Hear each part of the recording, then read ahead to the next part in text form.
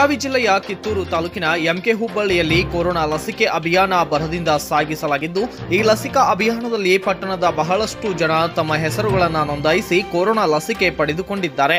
ಈ ಕಾರ್ಯಕ್ರಮದಲ್ಲಿ ಪಟ್ಟಣದ ಪ್ರಾಥಮಿಕ ಆರೋಗ್ಯ ಕೇಂದ್ರದ ನರ್ಸ್ಗಳು ಹಾಗೂ ಅಂಗನವಾಡಿ ಮತ್ತು ಆಶಾ ಕಾರ್ಯಕರ್ತೆಯರು ಪಾಲ್ಗೊಂಡಿದ್ದರು. Bureau report, Pranesh Kudli, Karnataka super fast news, MK Hubballi.